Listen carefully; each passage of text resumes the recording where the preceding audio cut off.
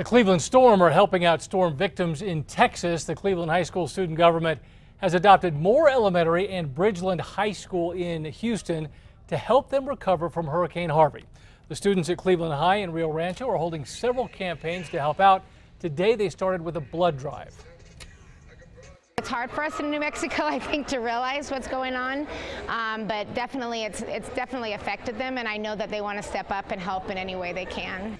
The students are also raising money for gift cards to give to the teachers at Bridgeland High and are collecting K through 5 books to give to Moore Elementary schools so they can rebuild their book collection in each of their classrooms.